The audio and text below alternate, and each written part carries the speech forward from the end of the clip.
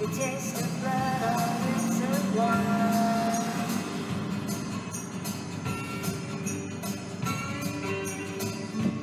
Time is waiting.